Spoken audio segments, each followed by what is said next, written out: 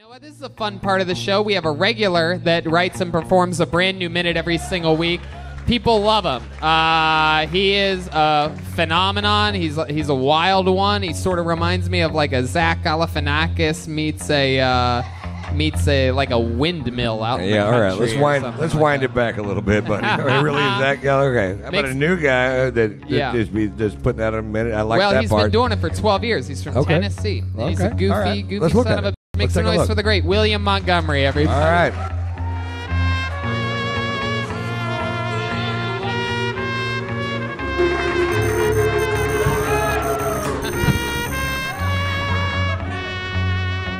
My family and I have been sitting here for 15 minutes. Can we get some f***ing menus?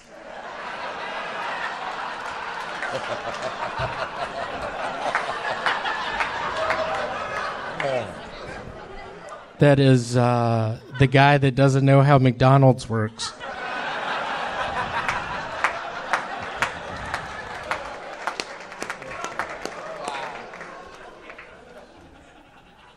Let me hear y'all make some noise if you met Dracula for the first time and thought he'd be just a little bit taller.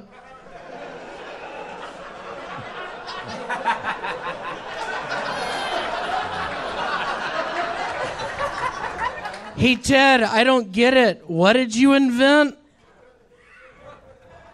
That is uh, the guy who goes to his buddy's uh, intervention and doesn't really know what an intervention is.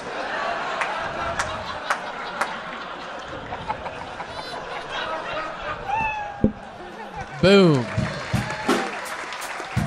There it is. Another brand new minute from William Montgomery. Boy, have I missed uh, seeing you. Ron, I just have to say I loved you in all those Ernest movies. What, Thank you very uh, much. It's been- I got to tell you, it was fun and lucrative. The what whole was thing your was. It What was your great. favorite favorite Ernest movie to make? Uh, Ernest goes to heaven.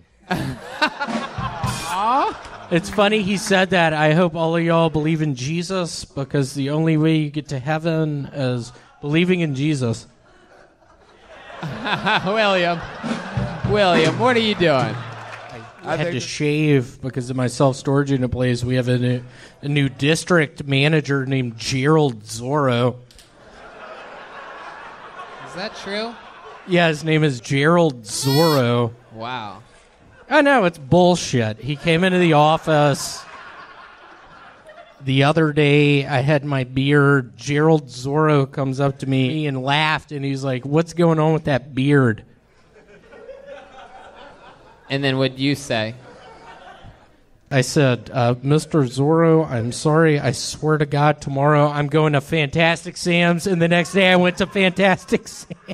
Hey, you you had you had the beard ever since you've had a job there, right? Yes. So you they can't tell you to shave off the fucking beard. It literally was Gerald Zorro coming into town. Better I swear to God, it was the new district the manager. And I, I, I pray to God he's not watching this tonight. I hope he is. Because I'm going to get you fired. He's not watching this tonight.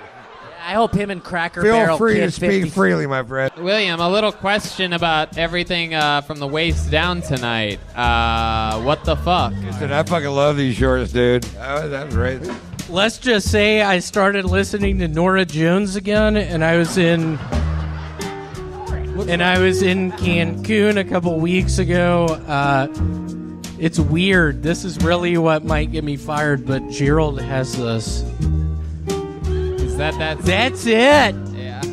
You want to sing a little bit of it? Just picture me, keep the song going. Just picture me down in Cancun with Gerald's daughter, Whoa. uh, Patricia Zorro. Patricia Zorro. Let's just say we hit the hot tub. Let's just say we hit the pool. Uh, you're dressed for all that.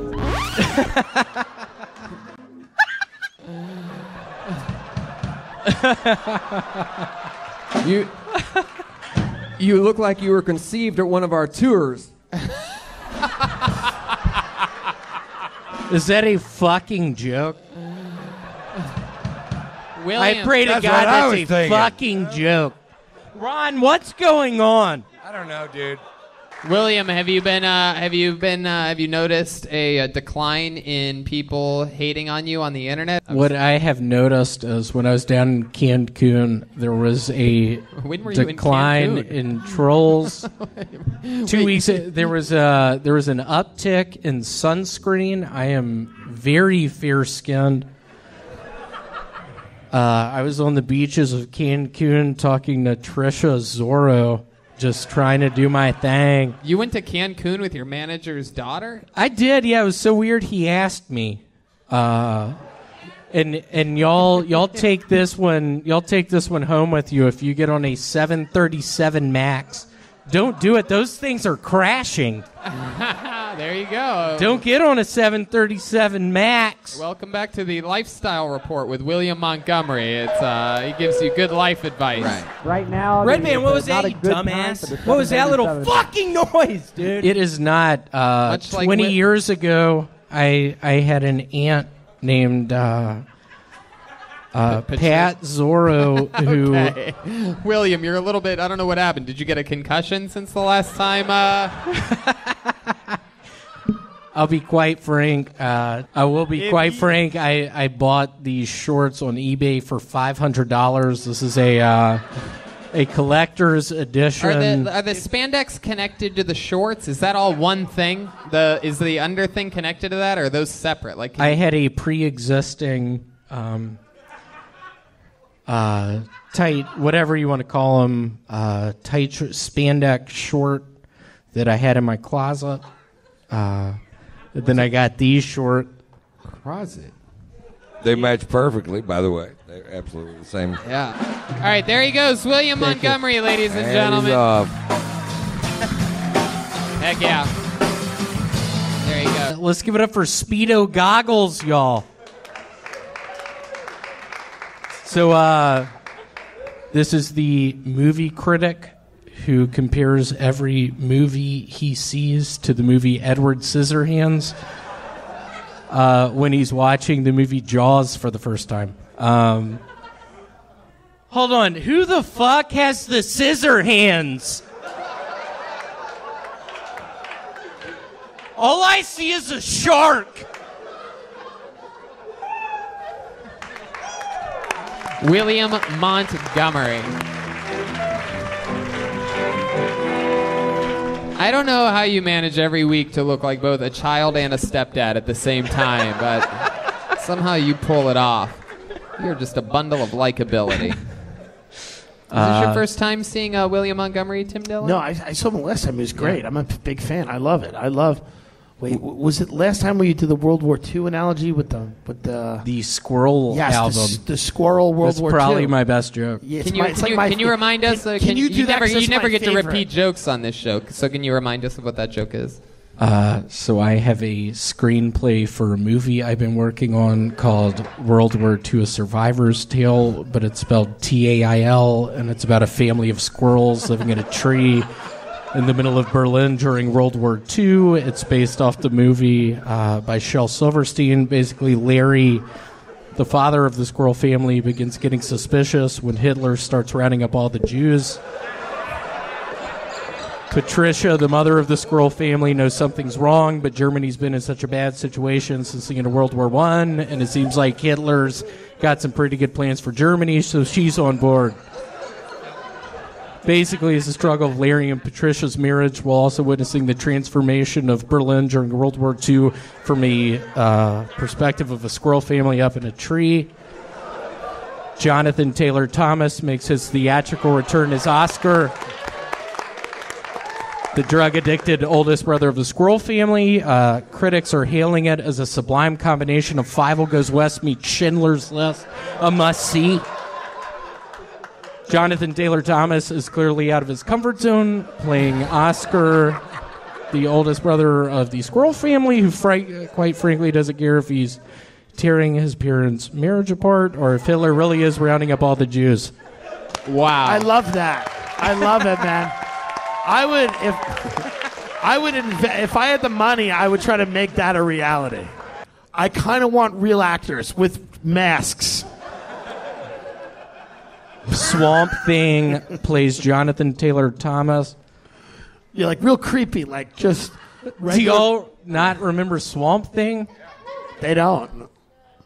William, we've heard a lot about you working at this self-storage unit. Can you give us a little pitch of what it's like to uh, to hear it? Like what you actually would say if I was just walking into your storage unit place, right, middle of the day, and I'm just like, "Hey, man, I'm looking to maybe I don't know. You guys have storage units available?" Hey, what's your name? Oh, geez. Uh, my name, my name, my name's Kill Tony. Kill Tony. Very nice to meet you. How uh, how much stuff do you have? Well, I uh, I just bought a uh, a commercial airliner, and uh, I'm looking to store it somewhere because I'm going to be a professional pilot. Uh, that is a, a 10 by 50 space. We have them. Are you comfortable with paying $2,000 a No. month? Okay, no. Let's say it wasn't an airplane, William. Let's say, uh, oh, I have this uh, case of uh, Wine. yeah, I have a case of wine. I need a storage unit. I would recommend a unit in the L building. It uh, it has a lot of insulation in there. Um, perfect for wine storage. Uh, I'd like to get you in the 5x5 premium, which means it's one of the first four buildings on the lot. It's premium. There's a lot of other than that, homeless people who are in premium positions. It's close to the front. Is it climate controlled? It's not. What? It's a metal box. And that's what I tell people. Like, if we ended up going to a unit, I'd be like, Tony, here it is. It's a metal box. So I hope you're cool with $75 a month. Well, William, I absolutely love what you do every week and uh, every every time I see you. I love you. It was nice to say I love you. William Montgomery, ladies and gentlemen. Uh, he hasn't, they haven't even uh, met the new regular. The last thought regular I know was Malcolm, who I loved. What Right. happened to Yeah, Malcolm? Malcolm's great. Yeah, Malcolm's a monster. But we have a we have a new regular who's uh, who's been at it for a few months with us. He is uh, he's literally one of my favorite comedians coming up. He's been doing it a while. From Nashville, just moved to L.A. about a year ago, and uh, we absolutely love him. Make some noise for the great and powerful William Montgomery, everyone. Make some noise for William Montgomery, everyone.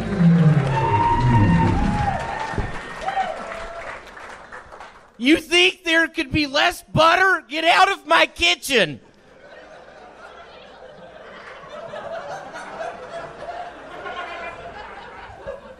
That is a phrase I used to say at a cooking uh, show. That was my friend. Just kidding. April Fools. Uh, I'd like to give a moment of silence to a dear friend of mine. Um, uh, we lost him. His name is uh, Westminster Doorknobblers. Uh, we worked at a Sbarro together. Um, April Fools, there's not really someone named Westminster Doorknobblers. I'm pretty pumped. I finally got to see Roller Coaster Tycoon 3 last night, starring Helen Mirren. Uh, spoiler alert Helen Mirren is, in fact, the roller coaster tycoon. April Fools, that's not a real movie. Wow, look at that. William Montgomery.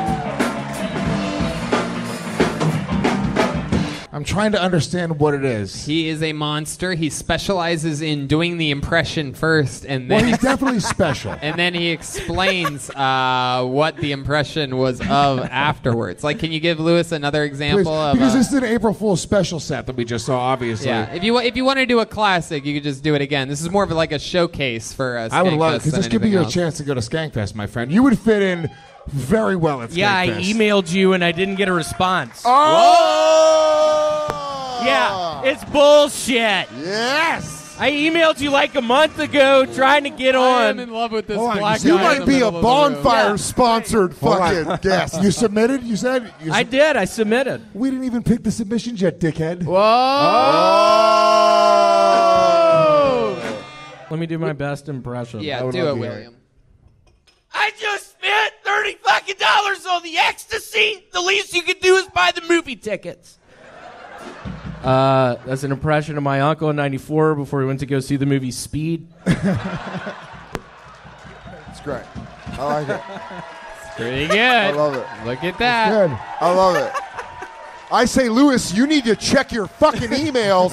yeah, check this it. guy's going to Skankfest. I like. Look, here's what I like about this guy. He breaks all the rules. They say no, no fucking uh, shorts on stage. Yeah. Yeah. No they sandals. say no sandals. They say no redheads. These are rules that we have in comedy. are you somebody that wears shorts? You I'm, I'm, I'm just blown away by whatever it is, and I understand why he's your regular. Yeah. it's so hard to put your finger on, but he is undoubtedly hilarious. You can't teach hilarity like that. Mm-hmm. I don't know. I could. You, he could do a comedy for 20 years or three days. I can't tell. Yeah. I have no idea. oh, that'd really chap Tyler's ass if it was three days. It's like, an, a- it's like an, guessing one? an Asian woman's age. You're like, who knows how old this woman is? Uh, William, I think I think you're on the on a roll of getting this. Will you give us another example of another impression? I'm white with black stripes. That is the racist zebra. Yeah, I- Wow, the crowd's going crazy for William Montgomery. He might be going to New York City. All right. All right, William. Well, my guess is that uh, you're pretty far, uh, pretty in good position to maybe uh, go to New York. Who knows? We're going to have to see at the end of the show. There he goes for now. William Oh, Montgomery, ladies and gentlemen.